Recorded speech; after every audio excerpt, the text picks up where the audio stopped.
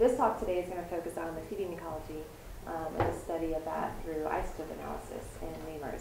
So he does all of his work on wild lemurs in Madagascar, um, but we can learn a lot from that and how we can apply it to our lemurs here. So please welcome James, and please help yourself more refreshments as we leave. So, uh, the, and, and this talk is, uh, I mean, uh, feel free to interrupt me at any time if you want. Um, you know, I've, I've got it gauged. Um, so I'll explain what isotope ecology is, but you know, I'm, you know, if you, if there's any point you want to raise your hand or have a comment, feel free to. Um, how many folks know of isotope ecology or heard of it or done it.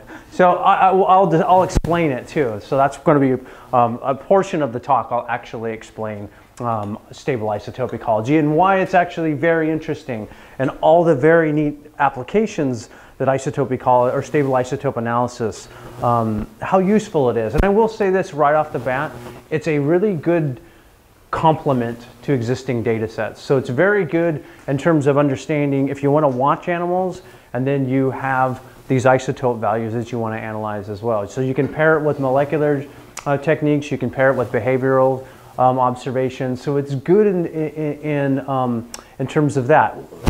Uh, one of the drawbacks is that some of the things that you can say are very, very broad.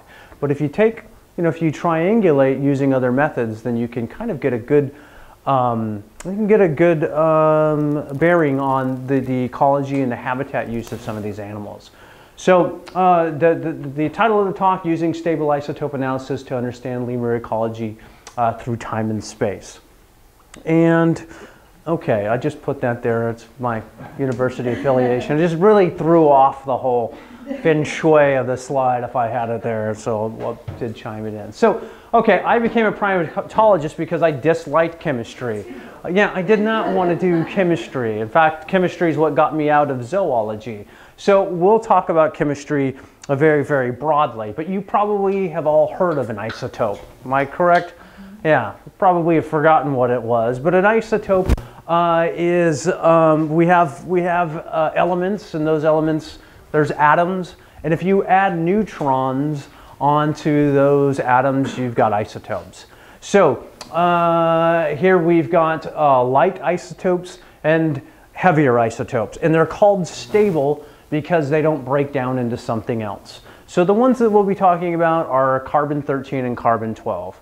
Carbon 13 is not going to break down, down into carbon 12. Uh, so here's a, a, a, picture of hydrogen, um, and here you've got one neutron and one proton, and here you've got two neutrons and one proton. Now the behavior of the, of, of the atom doesn't change too much because it still has one electron that's negatively charged, but it's a little heavier. And so if you were thinking about pushing to, well, let's think about cars. You can push a Tesla, right? They're a nice eco-friendly car. You're pushing a Tesla up a hill, um, and then you're taking a Tesla and you're throwing an extra spare tire on it.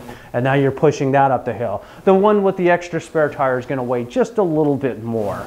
It's not really going to change its behavior, but it's going to weigh a little more. So why is this important? Well, plants incorporate carbon into their tissues, and they incorporate that carbon primarily what we're interested in in terms of producing their own food through photosynthesis.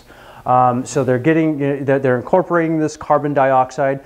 Some of that carbon dioxide is carbon 13 and some of it is carbon 12. Plants generally like to have the lighter isotope. Uh, I'm anthropomorphizing here, of course, um, and they dissuade against the heavier isotope.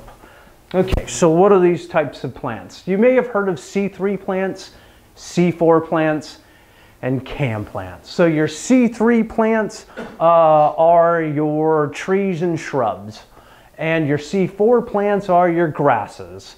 And your CAM plants, and the reason we're talking about CAM plants today, oftentimes you see isotope talks and people don't discuss CAM plants um, because oftentimes they're not in the relevant ecosystems. But in southwest Madagascar, you find a lot of CAM plants and not very many C4 plants. And I'll show you in just a second, these guys have the same carbon signatures. Uh, these guys have a much different uh, carbon signature because they really are choosy in, in when, what they're, the types of carbon that they're incorporating. They incorporate less of the heavier isotope into their tissues than these two plants. Now, why is this really cool for us who are interested in, in animal ecology? Because the carbon values that these plants have are passed on to the animals that eat them. So here we got a classic giraffe, and a giraffes are what we refer to oftentimes as browsers because they eat browse. You know, they eat seeds and fruits and leaves.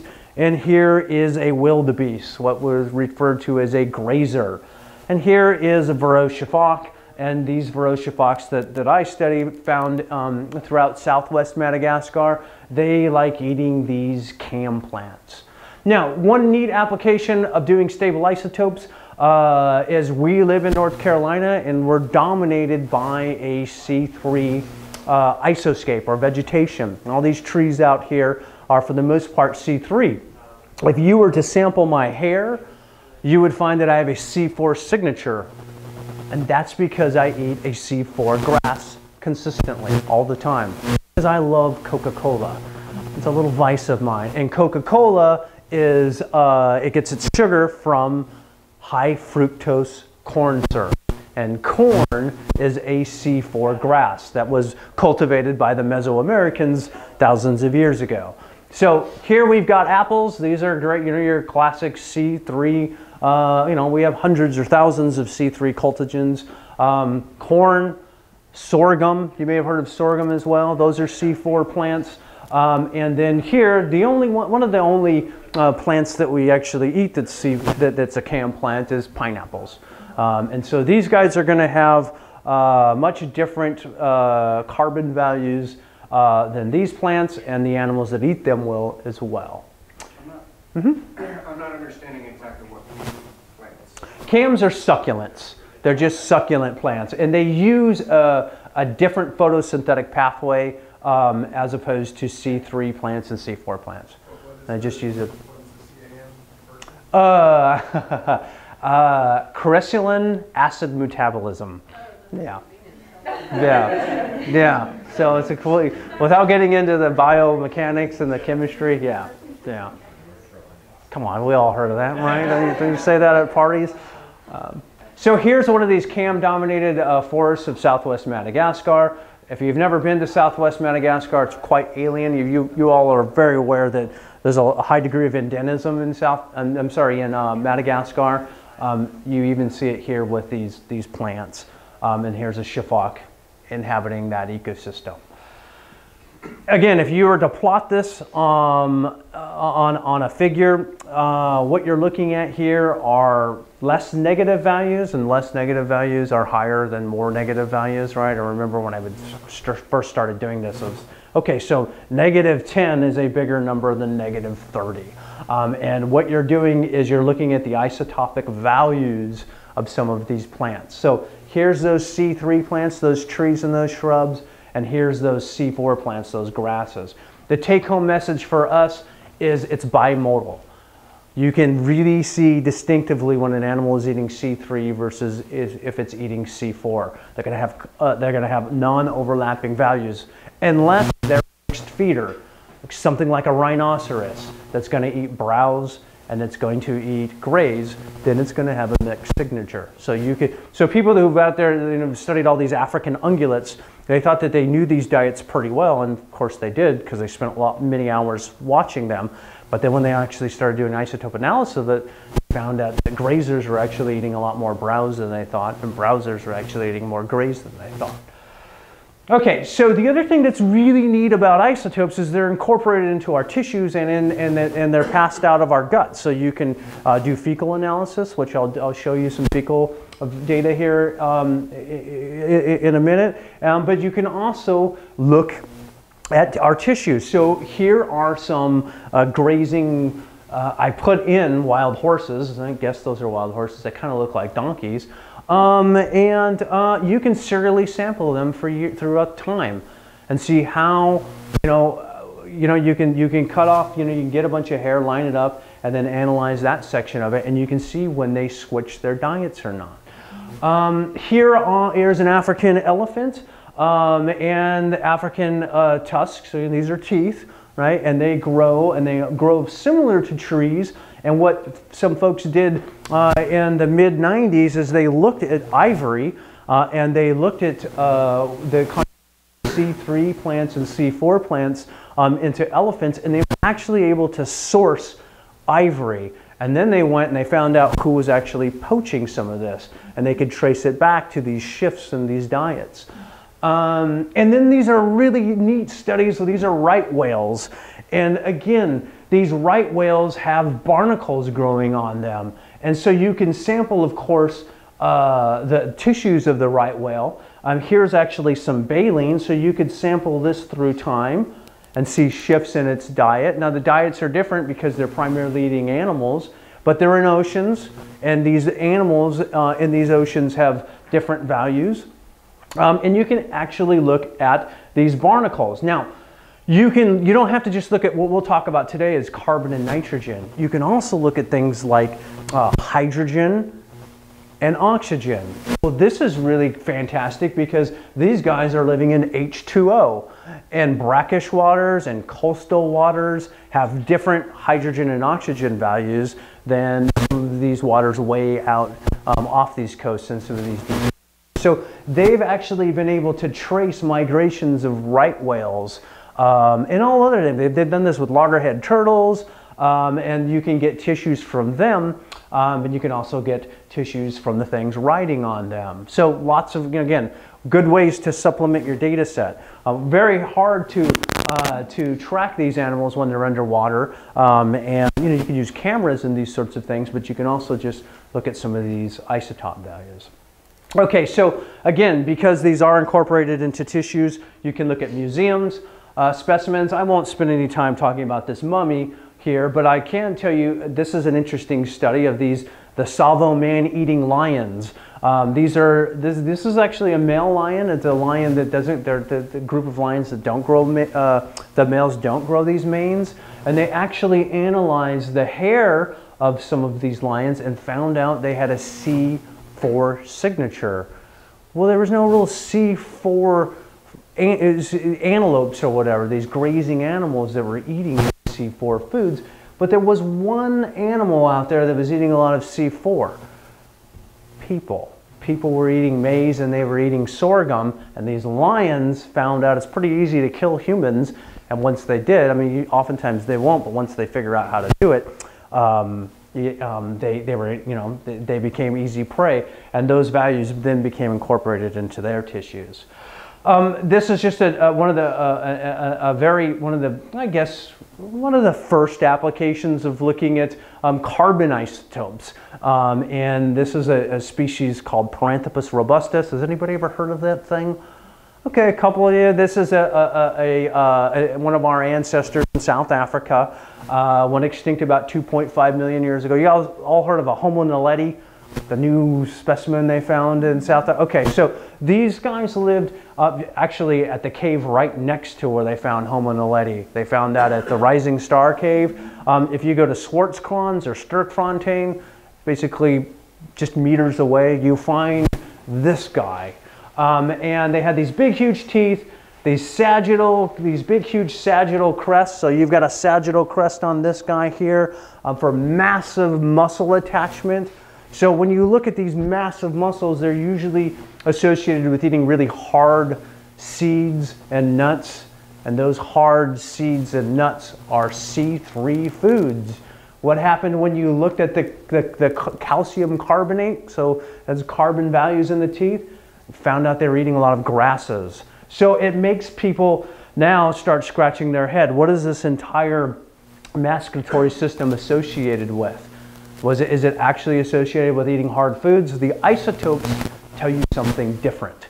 And we can get into that a little bit later, what that might actually be. Uh, but um, again, if you were to look at this uh, specimen here, uh, these big, large uh, sagittal keels and that, those big, large jaws, you would think that it would eat one type of food, but if you buzz the enamel, it might actually be eating something different. Um, so isotopes can give you ideas uh, about, or give you, prov provide you with data um, for, for different, um, uh, different types of diets and diets that could change through time. So real quickly, um, uh, the isotopes are also good at uh, um, uh, uncovering little mysteries. Here is a long-tailed macaque, uh, lives in a C3 environment and is eating a C4 food. It's, it's crop raiding. This is important because lots of animals that crop raid end up getting killed. Um, or they, you know, they end up getting, well, I guess, shot and killed. Pretty much could be the same thing oftentimes. Um, here is a nocturnal little galago, hard to watch. Um, you know, folks who've worked with these mouse lemurs, right, in the wild, really, really difficult to see them. Um, if you can capture some of their, get some of their feces um, or shave them down, you can get dietary values. So how, much, how many insects are these folks eating?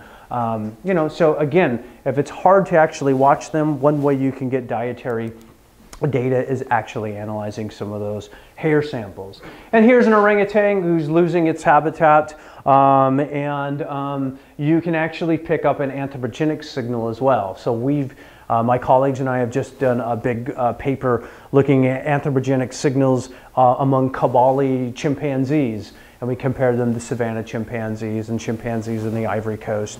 Um, we actually showed that you can detect an anthropogenic signal. When people are disturbing these habitats, you can find it. Yep?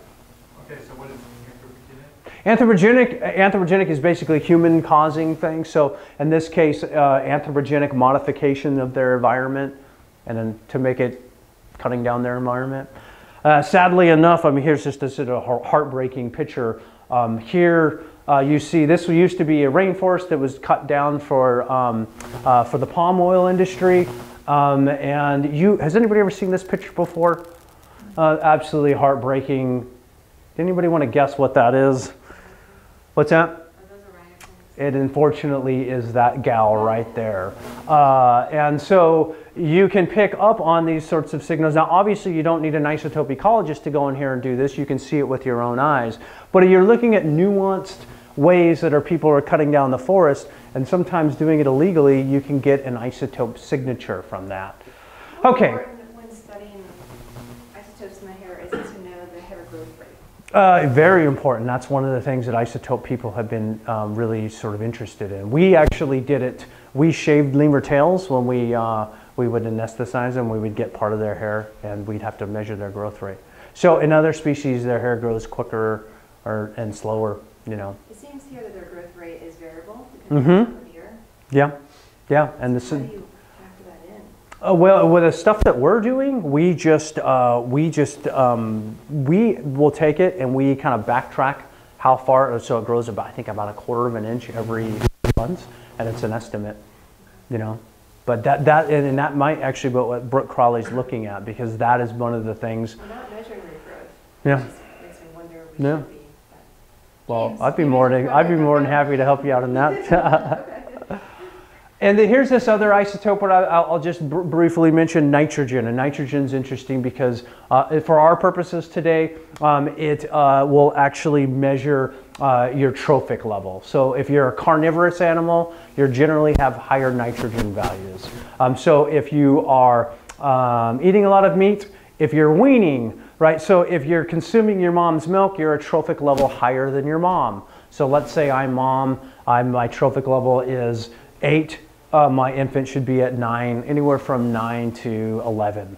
What is funny about this, this, this picture here is they compared um, these uh, nitrogen values of vegans. They compared the vegans to the vegetarians uh, and the omnivores, um, and they kept finding a vegan who kept popping up here. And why were they popping up here? Because they were eating bacon. Uh, and they are, they, yeah, so the isotopes bore that out. Uh, same thing with the, the, the orange juice industry. Orange juices, oranges, C3, uh, and they started finding C4 signals. They found that the, what the orange juice industry was doing, or some of these companies, is actually sweetening their orange juice with corn syrup. So gives you true signals. So those vegans out there, beware, right? Let's talk about lemurs finally. so here are here here's where I did my dissertation work at the Mahafaly Special Reserve.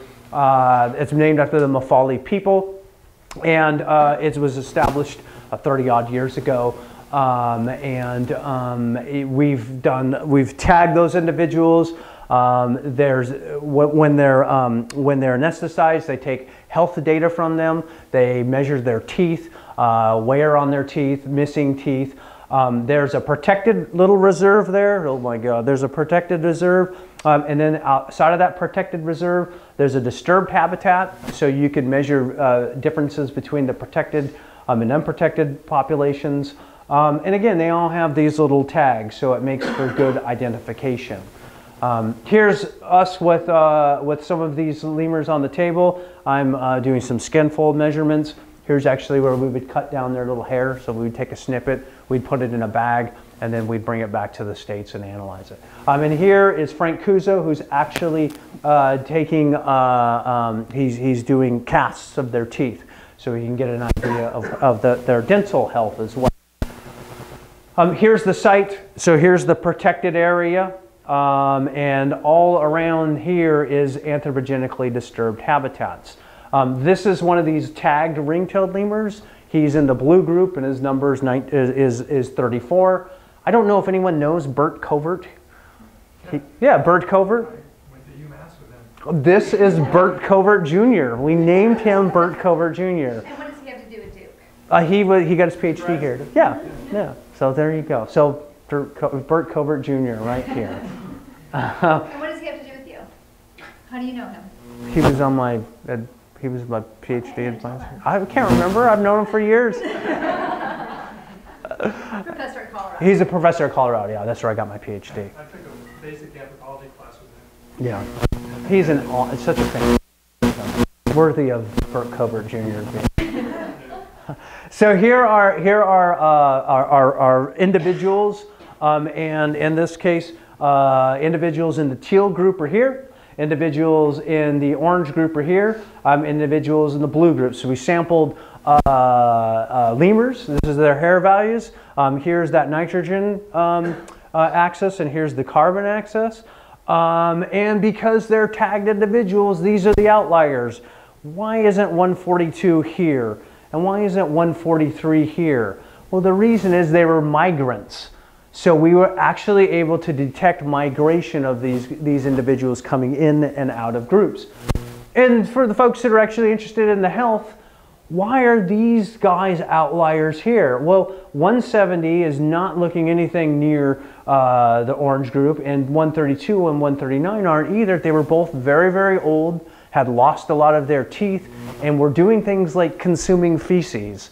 So they had poor health. Um, they, were, they, they, they, they had very, very bad coats. Um, they were emaciated, um, and they were, had lost so much of their teeth. One of the only things that they could actually consume, and they didn't consume it primarily, but they supplemented their diet with feces, which oftentimes is, uh, is high in nitrogen. So um, you have these uh, abhorrent uh, values. Now, the, again, isotopes are great because they bore some of this stuff out, but if you just have isotope data, it's hard to make any sense out of this. That's why it's so important to have behavioral data and isotope data as well. Um, and they also reflect the differences in where they lived. Here is a nice lush forest uh, where the teal group lived. Here's an open area where the orange group lived.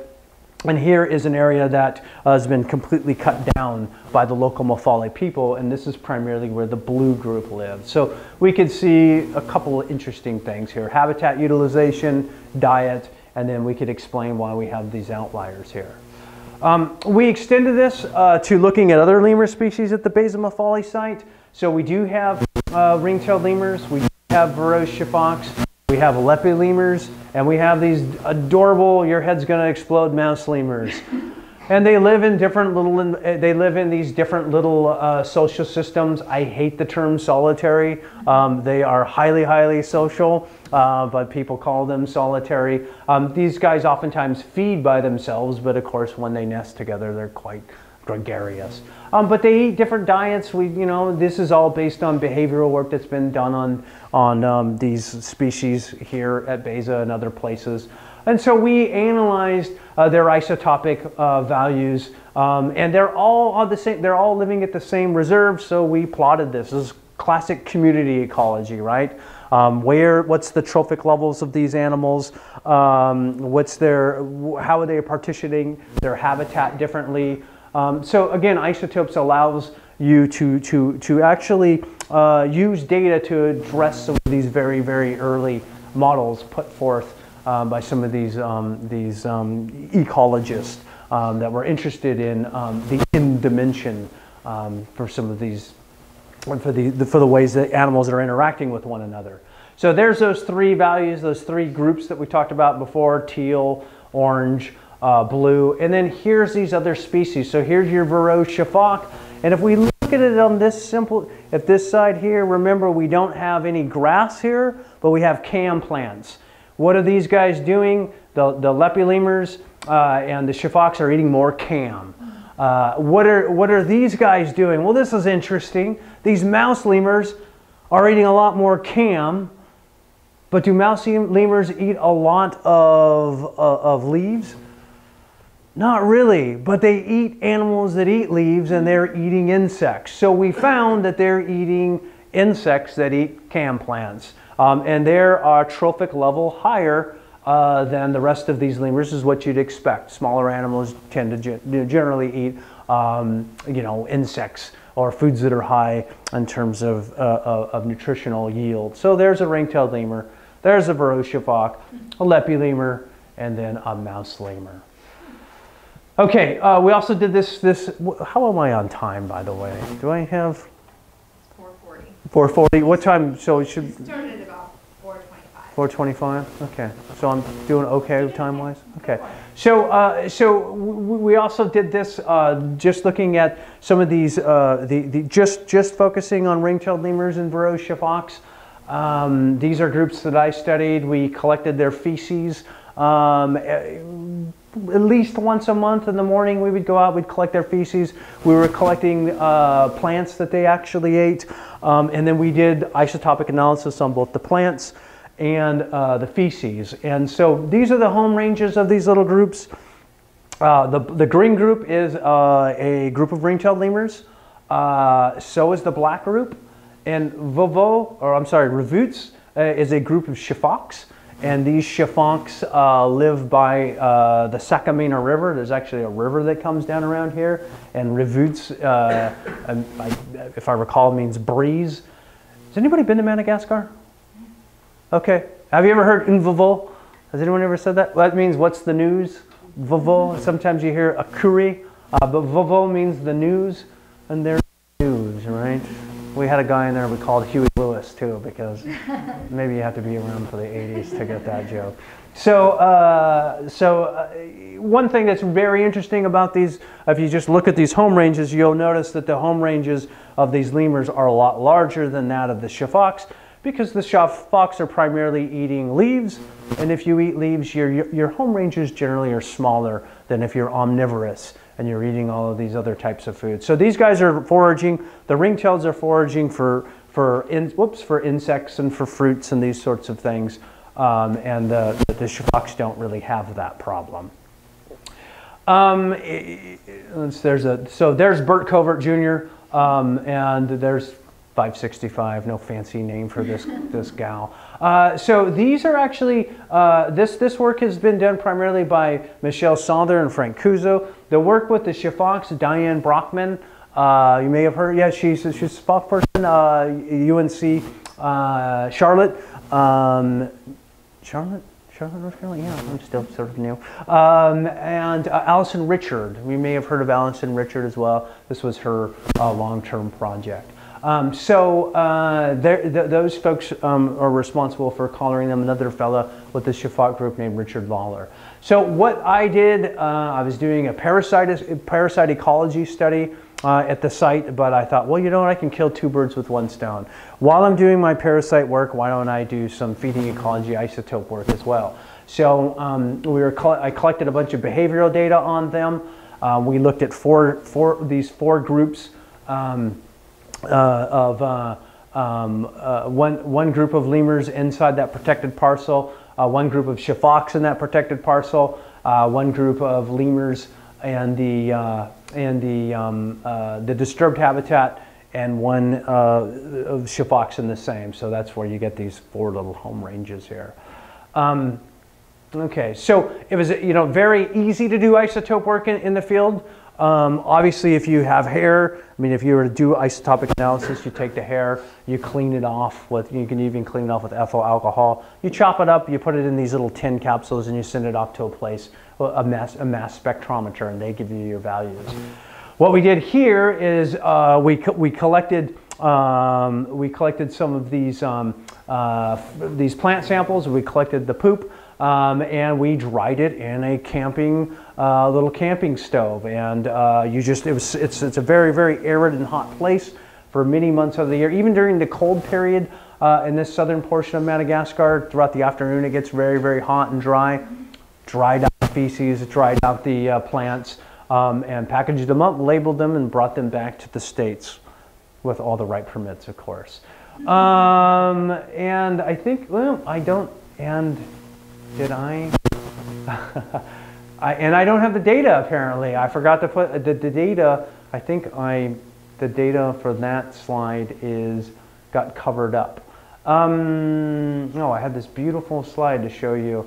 Basically, what we found uh, is when you uh, when you actually plot these the the the the, uh, the diets on let's see something let's see if I can find something sort of similar to that.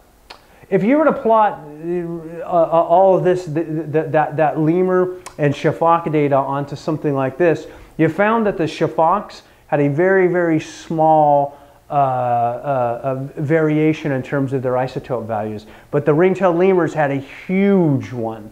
And what that basically is reflecting again is there's more variable, var more variable isotope values among the sifakas, I'm sorry, among the ring-tailed lemurs because they're eating a more omnivorous diet.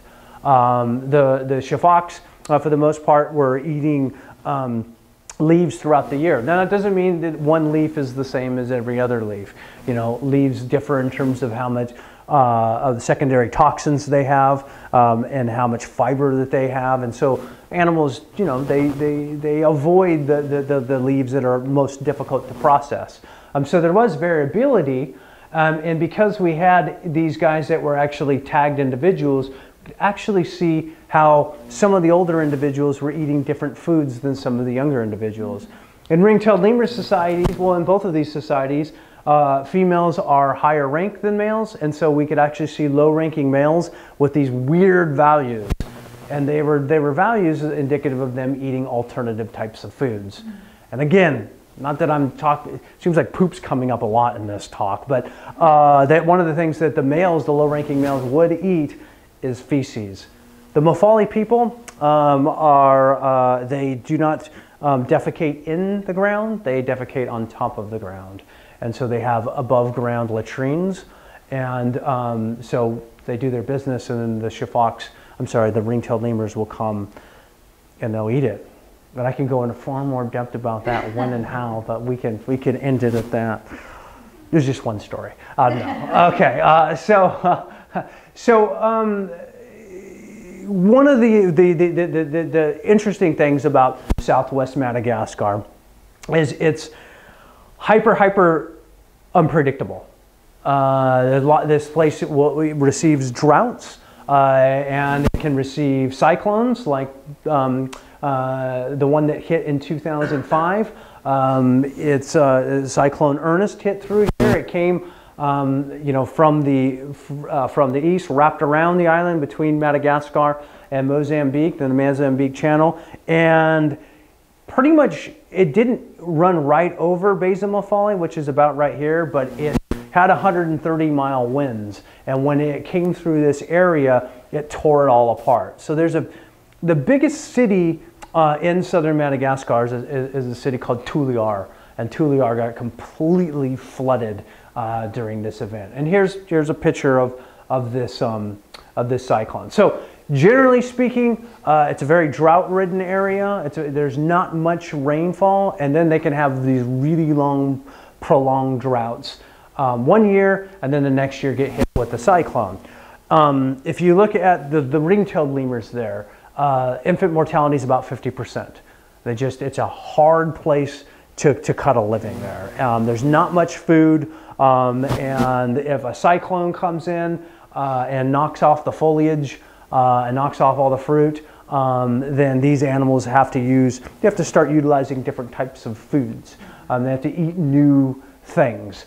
Um, and so there was a 2003, what we'll be looking at here in a second, was a normal year. Then you had a drought year of 2004. Then you had a cyclone of 2005. And then you had another drought year. And so we were able to look at the isotope values of these animals through all of these uh, times. Um, that's why, I mean, this is kind of a bumper sticker, right? Tough times don't last, tough people do. And so I thought, you know, tough, lemurs, or tough times don't last, but tough lemurs do. And so these animals are extremely flexible. I mean, they can cut a living out of one of the hardest places to live. What's also interesting about this is the people that live here. The people, uh, getting to know the people. I mean, the people die of, of just horrific things like cuts um, that, that, that get infected. I mean, um, childbirth. It's just it's it's you know it's it's it's it's very very uh, hard place. You know, to, you forge these relationships with these people. They become near and dear to you, and then you find out a year or two later that they they died suddenly. Um, interesting enough, too, they don't eat the lemurs which is, which is, which is very interesting in a place where most of the people there, or a large percentage of the people are protein malnourished. With all these lemurs around there and they don't eat them. What's sad is some people from other areas of Madagascar are moving in, they don't have that same taboo. Um, so those people actually will harvest the lemurs sometimes and eat them. Um, so a hard place for the lemurs to live, uh, of course a hard place for uh, the local people to live as well. So here we're just looking, these are all different groups. So we're sampling, uh, there's the orange group and the yellow group and the teal group and some of these groups we talked about before. Um, and here's what a normal year looks like. Um, you can see there's a lot of variability here. Um, but we actually, we, we, ran a bunch of, of modeling and we ran a bunch of statistics and found that you can, they cluster pretty well. And you can actually, for the most part, determined through things like discriminant function analysis when you're going to find a drought year versus when you're not. Um, and uh, here you've got the cyclone year, and the values look quite a bit different, you know, than they do these other years. Um, and again, these are all different groups, and there's different members or different numbers of animals um, for these uh, for these different groups. So green group um, you know, there's, there's, a, there's a light purple group. We had quite a few of these different groups. And we were able to sample. This is, again, all comes from their tail hair. Um, so, you know, years and years of collecting these animals' tail hair. And again, accompanying with this, we have data on their tooth loss, which is also paints a pretty interesting picture. Is the, the cyclone year data, so is that collected directly after the cyclone? Is it inclusive of the entire time before the cyclone it was actually collected right after. So at the, we can't include all the data from there because of the way, getting to your, your point earlier of when the hair grows. Mm-hmm. So we can only collect, we, we, we got more hair samples, but we had to make sure that we were getting hair that was grown right previous. So the hair that we were analyzing is indicative of what they were doing during the cyclone. During the cyclone. Yeah, during the cyclone. So is that showing that they were eating more diverse resources? Yeah, they actually start spreading out. The groups start like spreading out and probably, whoops, eating different, completely different types of foods. Uh, well, they don't have that much room. They only have this area here that these guys are living in um, is probably uh, maybe 20 hectares. They don't have much room at all. So what do what do these guys do? Well, they spread out on, on, on the landscape differently, but then they start using resources that they would maybe consume things like barks, uh, or start eating uh, foods that are high, you know, maybe leaves that are high in um, high, well, I don't have a picture of this, but a lot of the, um, the leaves were blown off trees. Um, so they were eating like very, very small leaf buds. Um, they were eating uh, seeds that they, that, that, that, that they probably don't process. The Sifakas can process these seeds pretty well. I have Sifaka data, but the ring-tailed lemurs, they don't. The ring-tailed lemur snout's a little bit longer. The Sifaka's pushed in so they can get better bite force down on that molar. So, yeah, it, it, and again, this is why it's very important to have feeding data to accompany this because you can see we're kind of taking stabs in the dark here. Um, but again, it does, it, it shows a pattern of them eating different diets. And most, in most cases, I mean, it's kind of hard to see in these, in these sort of figures, but they are uh, significantly different from one another.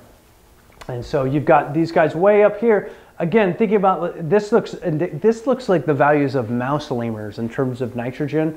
Yet these are ring-tailed lemurs, so they're eating. They're not going out eating a lot of insects. Other thing that they might be doing is they might now be really, really stressed in terms of water. When you sweat, you're going to sweat out water, right? And you're what you what, what you find, and when you urinate, what we generally do is we, we prefer to, to, to urinate out nitrogen 14. We keep nitrogen 15 in our system, and so we become elevated in nitrogen 15.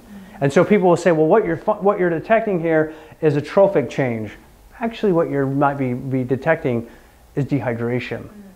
So that's why the isotope stuff, again, pair, bless your heart, pairing it with, with, with other types of, of data so that you can actually make sense out of this stuff. Okay, so this is kind of the same. These are just basically, this is all we're looking at here is carbon. Um, so here's, you know, black group, blue group. This is parcel one, or pink, pink number one, pink number two, orange group, teal group. And it's just, just to show you that there's variation. Um, and so here's the normal, there's the normal year. Not too, too much variation. I mean, there's a little bit of variation in the orange group. I will say this, that outlier up there was a, a sick female, and this is a group where we had about 13 individuals. Some of these other groups here, we didn't have very many individuals. Here's, again, carbon. We're still looking at carbon here. Lots of variables here in the yellow group. Again, a story to tell about this. The yellow group crossed a river. Uh, the river flooded, and they got, they got harpooned or, or marooned on the other side and um, talking about stress levels in these guys. When they got stuck on that other side, there were a bunch of domestic dogs, and those domestic dogs started picking them off. They left and went across that river with probably 20 odd animals. They came back with like 12. And cat, domestic cats were, were, were, taking them off as well. So uh, they, these guys were forced to eat just basically off one type of shrub for about three or four months. So again, the, the understanding a little bit about the observations and the stories to make sense out of the data. And then here's the cyclone. Again, this the, the black group here, lots of variability. Um, seems like the groups, in, in, you know, in general, um, they, there's quite a bit of, of, variation in their carbon. So they're eating, um, you know, from, from, from areas that uh, uh, maybe have been cut down uh, a little bit more. Uh, maybe some of them are sneaking, going deeper into the forest, um, and then maybe they're incorporating things like CAM plants. And then nitrogen, same sort of the story. This wasn't as significant. Um, again, you've got some variation in just a normal year. Um, the big ones are yellow group. Again, the same sort of story. They got marooned on the other side. Um, this is the pink group. I can't even recall much about that group. They were a small group um, the black group. These outliers, again, in both cases are uh, adult males that were in poor health, um, and then they're in the cyclone year. And the weird one here is green because the green group never really changed that much, but they did for some reason in the cyclone year. Yep. So why are you looking at these different types of isotopes? You've got nice nitrogen and carbon, and like what, what is what is that getting at? Well, in terms of, I mean, in terms of the nitrogen, it's you, you can start teasing out health variables, mm-hmm. um, or you can uh, look at, you know, you could in, a, in other animals, you could look at things like insectivory, but the problem with this area is there's not too many insects. Mm-hmm. And then with the carbon, it's just where on that, you know, are they eating CAM plants? Are they eating, if we just look at C3 plants, just those, those, um, those trees and shrubs, are they eating those in areas that are really, really forested, or are they eating them in those places that are anthropogenically disturbed? And that's what it is, some of the, these data suggest. So they're each getting a different line of evidence. Yeah, yeah, yeah, exactly. So that, again, to, to, my, to my point I keep making, that's why this stuff is good as a supplement. Um, the strengths, of course, are like what we were talking about earlier is understanding cryptic behavior and understanding fossil behavior, area, you know, behavior of, of, of extinct animals. So let's talk about extinct animals real quickly. So uh, here are, uh, you, many of you are very, very aware that we had these subfossil lemurs that were uh, found throughout uh, uh, Madagascar. In southwest Madagascar, uh, you had, I think, 17, 18 species of them. Um, and they, they had different locomotory patterns. They ate different types of foods. Um, and you can analyze, and this is what Brooke Crowley actually, this is borrowing from her work, um, you can look at the isotopic values of their collagen. Um, and so you can get nitrogen and uh, carbon from the collagen. And so what we did is, and what we she did is we we and she compared uh, the values of living lemurs to that of subfossil lemurs. So what, what, what are the big differences between what subfossil lemurs are doing versus what these lemurs that are around today are? So the other thing you can do with, with isotopes is you can actually look at soil compositions, particularly soil carbonates, and you can see what types of plants were available in these in some of these ecologies. Has anybody ever heard of Ardipithecus ramidus? Yeah, Ardipithecus ramidus. So some people suggest that it was forest dwelling, and some people suggest that it was savanna dwelling. And what these folks are fighting over oftentimes are the values of the soil carbonates. The soil carbonate values suggest that it was living in a savanna environment.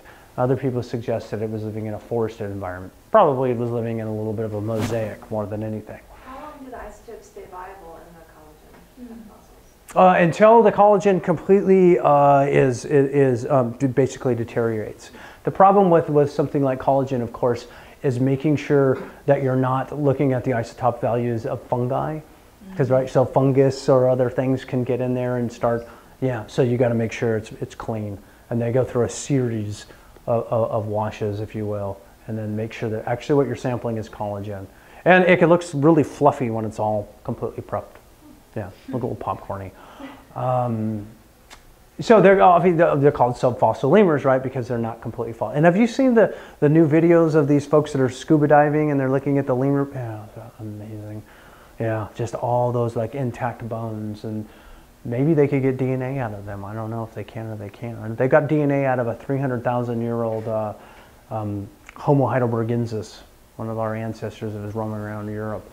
Okay, so uh, stable isotope studies, again, one way to get um, very, very broad dietary data uh, uh, you, uh, of these extinct lemurs um, and compare those values uh, to, to, to, living lemurs. Um, and one of the ideas that's been sort of preponderant among lemur lemurologists is that you had these large communities of um, you, you had these large communities of um, subfossil lemurs. Um, the subfossil lemurs uh, die out either by hunting or by ha habitat, habitat change. And the small little lemurs that we find today move into those niches. They start going in and, and, and utilizing the niches that are now open because these big, large lemurs um, are now all extinct. And so um, We'll get back to this in just a second. But uh, this is data from Brooke Crowley. Um, and so what she's found are these are your fossil, subfossil lemurs. Here's Hadropithecus. There's that grass-eating lemur out there, big, huge, large grass-eating lemur. And you've got this, these values here, and this is using Euclidean geometry, centroids, not using just um, standard deviations and means, what we've been kind of doing. Um, but here you got your living lemurs. Um, or lemurs that have recent that, that, that are, are still alive today but are older. And so, you know, greater or less than, than uh, 900 years uh, before present. Um, and you find, you know, you can find a clear difference here. Not a clear difference. Some of these guys are inhabiting some of the same ecologies. But what they argued is when these guys go extinct, that these lemurs here, if these models that we had proposed before, that the, the, the, the, little lemurs that we find today, these ecologies are now open, why aren't they moving right up into here? And they're not doing that. They're staying here. They're, what, what, what, what, what these folks suggested is that they're going through what they called an ecological retreat, that they're starting to use different ecosystems all the way. Um, and so instead of moving into these new uh, isotope spaces, they're staying in a different isotope space altogether. Yep. Do we have fossilized remains of the living Hmm, you- So that's a good question, and you don't have fossilized remains, but you have some of these that are um, greater or lesser than about 900 years old. And what is also interesting, as I mentioned before, that um, the local people don't don't uh, eat these lemurs or hurt these lemurs, but you can go to some of these cave sites, um, uh, of, of, of, and, and you can find um, lemur lemur catabones that actually have cut marks on them, which suggests they don't do anything to the lemurs, but their ancestors did. Their ancestors may have ate them. Um, and again, so so here is this is a very interesting lemur. This is the grass-eating lemur, and if you look at its teeth, its teeth look that does not look like a primate tooth at all. That looks like a cow or a horse's tooth. Has anybody ever rubbed their hand over a cow or horse tooth? They're very, very rough because this is enamel and this is dentine. And when you rub your finger across it, it grinds. It's very, very sharp. And that's because these animals are eating a lot of graze or browse and they grind it down. They, when you, you obviously, when you take something big, then you make it smaller, you increase its surface area, and it's easier to digest. And we find that this grass eating tooth is actually, we find that in the isotope signal as well. So these guys, unfortunately, have all gone extinct, but we do have um, their bones and we do have the isotope values of them. Um, again, this is where she did this work here. Um, there's Beza Mahafaly, so it's in this spiny thicket region. Um, and here is, you had, you know, thousands of, of large lemurs that have now gone extinct. And these are some of these fossil sites, um, um, subfossil lemur sites where they actually collected um, some of these bones and, and analyzed them for carbon values. Uh, the same slide, this is just my work on it, and i- i- if, if you do it a little differently, if you don't use um, sort of this Euclidean uh, geometry, if you just look at standard deviations um, and means, there's the, the, the Beza guys, and they're the subfossil lemurs. So they are appearing, they are using different little isospaces or little niches. And there's that oddball there. Now, one of the things that, again, talking about ring-tailed lemurs that uh, are, uh, you know, they were you know, they're supposed to move into these new uh, ecologies when those large lemurs uh, go extinct. Um, one of the things that's interesting about ring-tailed lemurs is they started using gallery forests. And so, so places like Berenty or Mahafaly Special Reserve, these are southwestern, southern sites, and people traditionally have studied lemurs there. And they started developing all these models of, of how these lemurs live and the foods that they eat. Well, it might be that those are lemurs that have actually started utili- utilizing new ecosystems. And you can tell that from their teeth ring-tailed lemur teeth uh, have really, really thin enamel, and this is a kiwi fruit or a tamarind fruit. And when you eat it, there's these fibers, and these fibers rip apart their teeth. So after, after, shortly after these animals can reach adulthood, they wear out their teeth, and when you start wearing out your teeth, you can start, you know, you can't process food. So this might be one of the reasons why some of these individuals started consuming feces, those really, really old animals. So we find those high nitrogen levels and we, with animals that we think are consuming a little bit more feces, but also, again, wearing down your teeth, maybe you're starting to break down your own tissues. This also could be indicative of those high nitrogen values. And then there's that tooth comb, right? Here's that beautiful tooth comb, six tooth tooth comb on that lemur, and now it's broken off. Uh, the interstitial spaces here are a little wider. Now these animals are um, not, they're not as effective at, at removing ectoparasites off one another. Again, I studied parasites, and when I look at their feces, we'd find ectoparasites that are actually removed when these animals um, started, uh, would groom one another. So, um, you know, uh, uh, uh, the, these, so it appears just looking at the teeth that they're occupying new spaces. And that's it. Um, I have some other stuff uh, some with um, with um, vervet monkeys and, and and chimps and stuff, but I'll I can leave unless people want to really see that stuff. We can talk about that, but um, that that's it in terms of just the lemurs. So, Thank you. yeah, thank you. If you have any questions, I'll be more than happy to. So if the sifaka are cam eaters, Mhm. should we be feeding them more succulents? Well, the, so they eat more cam, but they, you know, where I was working with them in uh, in that protected parcel, they didn't eat as much cam uh, because it just wasn't available. So they'll, I think that they're a little more. So they eat a, a, a in in in where we were. There's a there's a thing called a famata. It's a euphorb. And um, they can, and apparently it's a carcinogen. It's a naturally occurring carcinogen, and they would just eat it and eat it and eat it um, and it, it, it- produced like a sort of milk on it.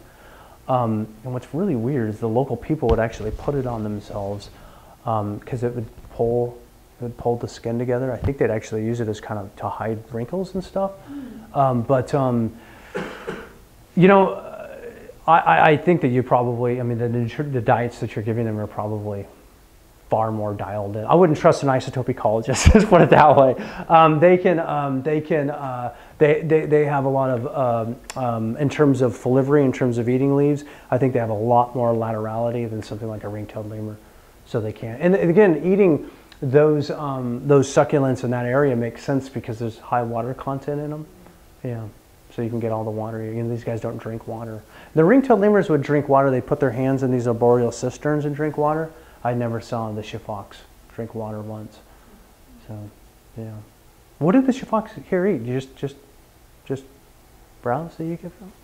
Um, they get veggies, Okay. chow, and fresh browse. Okay. Yeah. But you said that if we have them uh, living out in a natural forest. Sure. In the summer. Sure. You see them eating, you know, leaves and trees, you see them eating fruits if there's any fruits to go. But also they'll be out on uh, grass on the edge of the enclosures. They eat the grass too, right? Yeah, birds. Yeah. and little grouse Sure. He, these sifakas would come to the ground a lot to eat the herbs. They would come down and, um, and um, you know, they say sifakas never, they, that was, I was always told sifakas never come to the ground. And they, yeah, the ones at Beza would come to the ground all the time. Yeah, yeah, yeah. I was like, they told me you'd rare. And of course, the people that would tell me that were people who never spent time watching them. And so the other thing that they would do that was really interesting is the shafox on really, really hot days would come to the ground and hold tree trunks. Yeah, I could, I'd be up there looking all over all day trying to find them, and they're on the ground the whole time. Yeah, yeah, exactly. Do you keep cool or? Yeah. Yeah. I, I, abs- I, it was funny because the ring-tailed lemurs would eat, like I said, they'd eat feces and they'd eat trash from the camps and stuff. And I always just thought that the sifakas just looked at them like you medical waste eaters and just sort of bounce, you know, and here the ring-tailed lemurs like, you know, they're eating anything they could get their hands on. Um, and there was, we, we, do, we do medical stuff and sometimes, the, you know, we find the, the lemur's just into everything. You know, scent marking plates and stuff that you're going to be eating off, you know, and yeah, and then you had these, these just, you know, sort of elegant sifakas just jumping through the forest. So yeah, different, completely different habitat or uh, um, um, substrate use and different diets, and you know, you can when you run the stats on it, you find clear differences. It's reflected in their isotope values. So, yeah. But again, this is it, I, I love doing this type of work, but it is it's very broad. You can only speak broadly to what you're finding. Nothing is a substitute for going out with a pen and paper and writing down their behavior. And I, I will be, I will admit, I, people get, they just fall in love with new techniques, and so isotopes are kind of cool right now, and so, you, you know, you can, you can publish this stuff, and I think after a while, people are like, well, wait a minute, you're telling me Sifakas ate more cam than ring-tailed lemurs? Couldn't I have figured that out just, you know, going out and watching them a Right, little bit? when you especially the fossilized. Yeah, I mean, exactly. we can compare the fossilized to the modern. I mean, it Yeah. allows us to broaden that temporal aspect of it. Yeah. In case you didn't know that. I know, Yeah. thank you. You're welcome. Yeah, no, it's true. So, other questions? well, thank you so much for, for coming. I appreciate it. Um, try to not get too deep into the chemistry stuff over there, you know. I really appreciate you guys driving all the way out for this. Oh, yeah, and thank you for coming on such a Sorry about hurricane. rainy day. Yeah. They're talking about cyclones, right? And like we're in the middle of. Right, What is the difference between a cyclone and a hurricane? I have no idea. Aren't hurricanes? Cyclones were south of the equator and. Is there, because I don't think there is one other So that's it? I think that's all it is. Oh. yeah. Yeah. I think they're the same one too. What is it? Yeah, I think it's Typhoons or two? I Another typhoons or another typhoons, So, cyclones, Fulton, hurricanes? yeah. yeah. I don't know how to